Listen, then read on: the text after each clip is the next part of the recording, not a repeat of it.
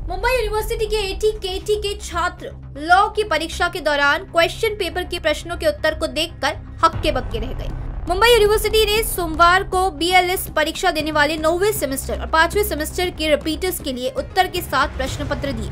हर 20 MCQ के बाद प्रश्नों के उत्तर दिए गए थे। एक लॉ कॉलेज के वरिष्ठ फैकल्टी मेंबर ने कहा कि प्रश्न पत्र में प्रश्नों के उत्तर देकर हम हैरान रह गए। जब हमने क्वेश्चन पेपर में आंसर देखा तो हमने तुरंत लॉ डिपार्टमेंट की डीन को इसकी सूचना दी।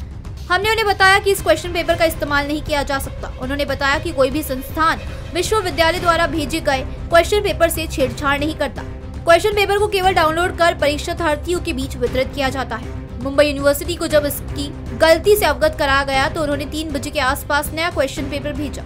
विश्वविद्यालय के अधिकारी ने बताया कि हमें दो परीक्षा केंद्रों ने इस मामले की सूचना दी। इसके बाद हमने नया क्वेश्चन पेपर जारी किया। कॉलेजों ने दावा किया कि किसी भी छात्र को उन क्वेश्चन पेपर को नहीं बांटा गया जिन पर उत्तर अंकित थे। एक अन्य कॉलेज के प्रिंसिपल ने कहा कि दोबारा क्वेश्चन पेपर के मंगाए जाने से परीक्षा में थोड़ी देरी हुई, लेकिन परीक्षार्थियों को परीक्षा के लिए उतना ही फालतू समय दिया गया।